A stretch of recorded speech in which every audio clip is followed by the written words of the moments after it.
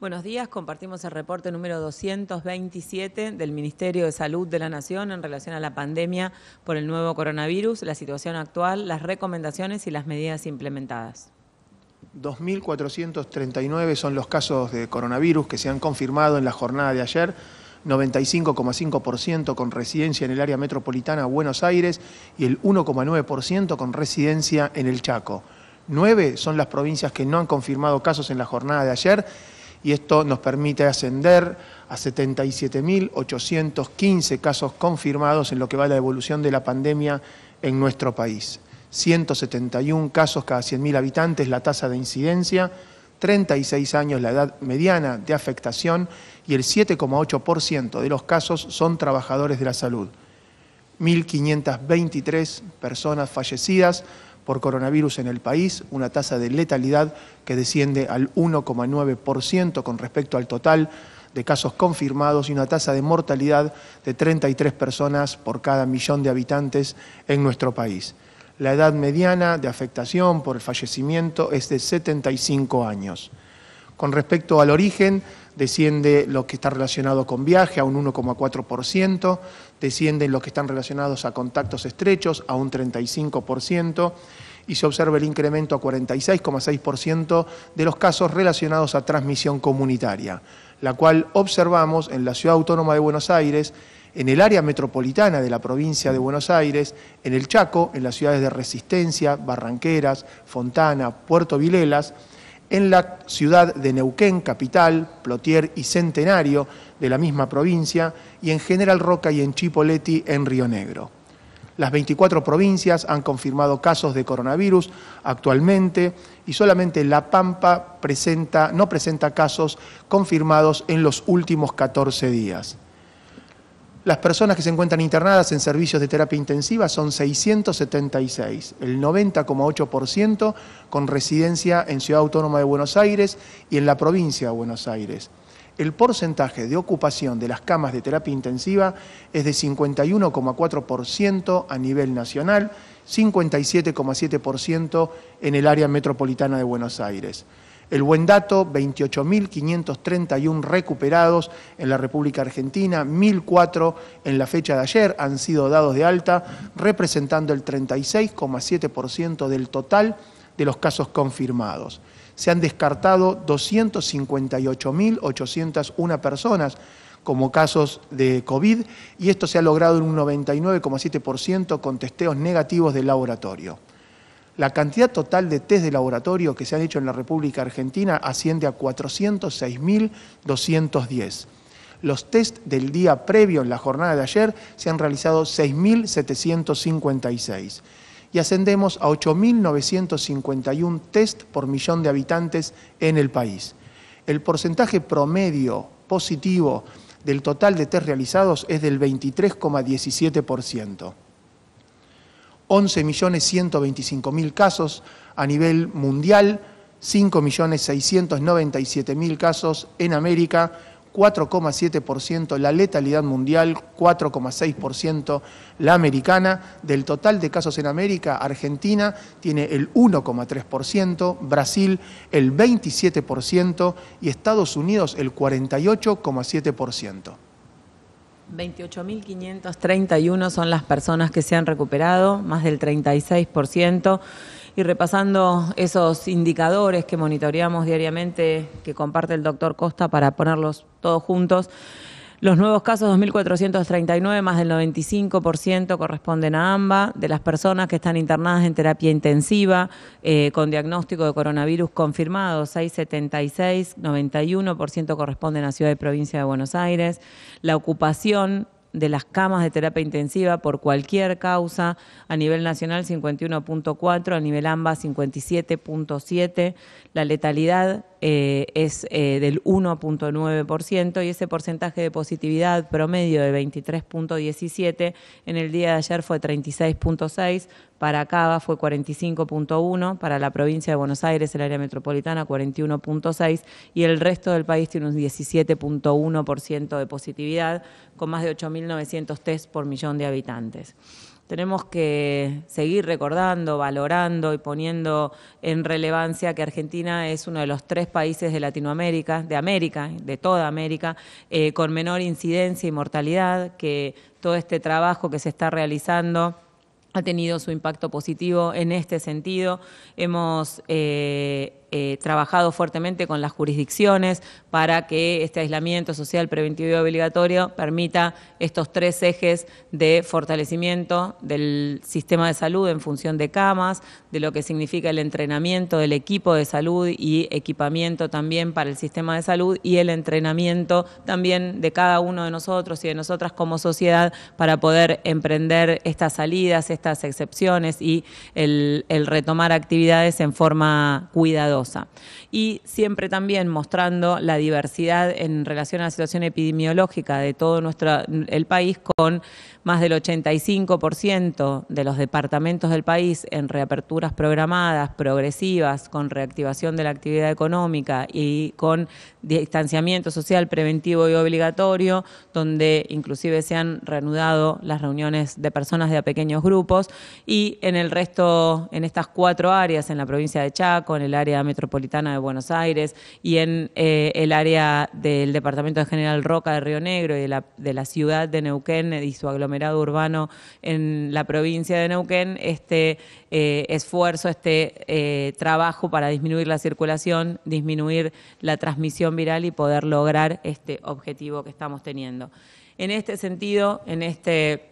en este momento, la única provincia en las últimas, en, la última semana, la única provincia que no ha confirmado nuevos casos es la provincia de La Pampa, provincias donde tenían hace más de 14 días eh, eh, la ausencia de nuevos casos y en Catamarca, donde no había confirmado todavía ningún caso, se han presentado casos a través de migraciones de transportistas o migraciones internas. En ese sentido, el refuerzo del concepto del trabajo, el esfuerzo que están haciendo cada una de las jurisdicciones en esa detección precoz de los casos que puedan eh, identificarse y de la investigación inmediata y oportuna con todas las acciones para poder interrumpir la transmisión en el momento en el que los casos son pocos y en el que los esfuerzos que se pueden realizar pueden tener eh, mejores resultados. En ese sentido, seguimos trabajando también con Ciudad y Provincia de Buenos Aires, con eh, la provincia del Chaco, con estos eh, dispositivos de testeo, el detectar, para poder generar estas búsquedas activas, el testeo y el aislamiento de los casos confirmados para su cuidado y para minimizar la transmisión. Ese es el esfuerzo. Otro dato muy importante es que eh, nuevamente, como se viene realizando, como se viene observando desde, desde el principio de la epidemia,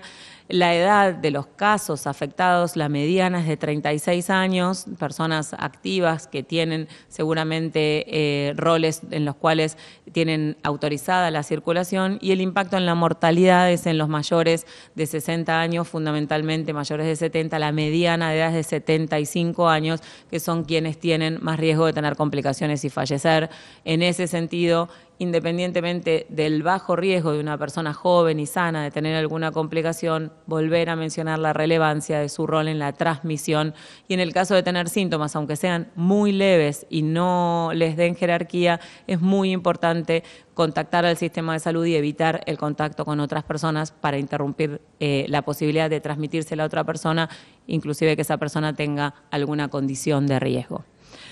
hablando de todos los ejes de trabajo de la cartera sanitaria, la investigación, la Dirección de Investigación en Salud es una de las prioridades para trabajar fuertemente, no solamente en relación a coronavirus, sino en otros ejes de investigación para generar evidencia local. Y en este caso, uno de los trabajos que se ha realizado en el contexto de la pandemia, pandemia, es el fortalecimiento de los comités de ética de investigación y compartimos ese trabajo en el reporte de hoy.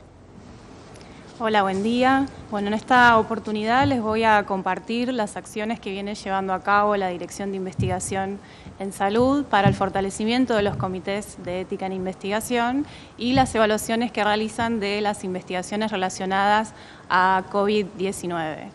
Eh, la investigación en salud es una parte fundamental de la respuesta a la pandemia y es por eso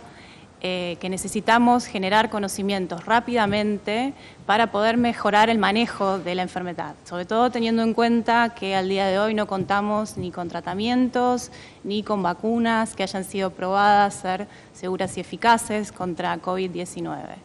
Y en ese sentido necesitamos acelerar las investigaciones, pero esto no tiene que ser a expensas de la rigurosidad científica que tienen que tener y del respeto a los derechos, los intereses y la seguridad de los participantes. Recordemos que hoy en día todos podemos contribuir siendo participantes de estas investigaciones y es por eso que eh, hace un par de meses ya el Ministerio de Salud aprobó un documento de pautas éticas y operativas para la evaluación acelerada de investigaciones relacionadas con el COVID y bajo esos objetivos la Dirección de Investigación en Salud viene trabajando activamente en lo que es el fortalecimiento del sistema de evaluación de las investigaciones en seres humanos, es decir, las investigaciones en las que participan personas o se utilizan sus muestras biológicas o datos eh, identificados. Quienes realizan estas evaluaciones en el país son los comités de ética en investigación, que tienen la función de evaluar previamente las investigaciones en seres humanos con el objetivo de garantizar que se protejan a los participantes durante toda eh, la investigación. En la dirección de investigación eh, funciona un comité nacional que reúne a los comités de ética en investigación o áreas similares de los ministerios de salud eh, de las provincias, que tienen eh, algunos la función de hacer estas evaluaciones y otros son los que fiscalizan el funcionamiento de los comités de ética que funcionan en esas jurisdicciones. En el mes de junio la dirección realizó una encuesta con los referentes de estas áreas, sobre todo para eh, conocer el estado de situación del sistema eh, de evaluación que están realizando cada una de las jurisdicciones eh, y sobre todo para poder diseñar estrategias que permitan acelerar las evaluaciones relacionadas con COVID-19. De los resultados de esta encuesta surgió la necesidad de crear un observatorio de las investigaciones sobre COVID que se están realizando en el país, con el objetivo de poder compartir la información entre las jurisdicciones y también eh, compartir las inquietudes que puedan surgir durante la evaluación de estos estudios, sobre todo los multicéntricos que se realizan en varias jurisdicciones. Y sobre todo teniendo en cuenta que en este momento también se dificulta mucho la evaluación, ya que la evidencia científica con la que contamos es muy cambiante, entonces lo que un día puede ser ético, muy prontamente puede dejar de serlo. ¿no?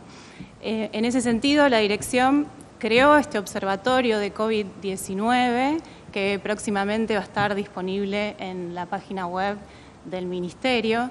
¿Y qué es en concreto este observatorio? Es un espacio de trabajo colaborativo con las distintas jurisdicciones que cuenta con un listado de las investigaciones sobre COVID-19 que están en evaluación, que han sido aprobadas y también las que han sido rechazadas por los comités de ética eh, de las distintas jurisdicciones eh, del país. Este observatorio se va a actualizar semanalmente y se alimenta con los registros de las investigaciones que cuentan las provincias. También se acordó con el Ministerio de Ciencia y Técnica contar con los registros de las investigaciones de salud que ellos van aprobando con sus distintas convocatorias y planeamos también incorporar los registros eh, de los ensayos clínicos eh, que, que tiene ALMAT.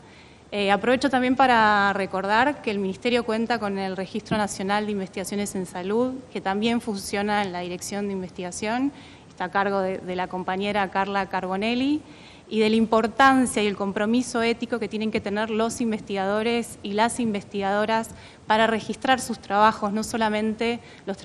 los trabajos relacionados con COVID-19, sino todos los que realizan, para poder transparentar y difundir esta información y de esa manera evitar la duplicación de las investigaciones. Muchas gracias. Muchas gracias. Sin lugar a dudas es un desafío enorme eh, en una situación inédita a nivel mundial dar respuesta eh, a, la necesidad de información y a, la velocidad que se necesita sin impactar en las buenas prácticas y en los considerandos éticos, no solamente en el marco del COVID, sino en eh, toda la investigación que se realiza en Argentina, que va a ser un eje clave en la gestión del ministro de Salud, Ginés González García, en el contexto de la importancia de generar evidencia evidencia científica local para que podamos tomar nuestras decisiones basadas en nuestra evidencia. Muchas gracias.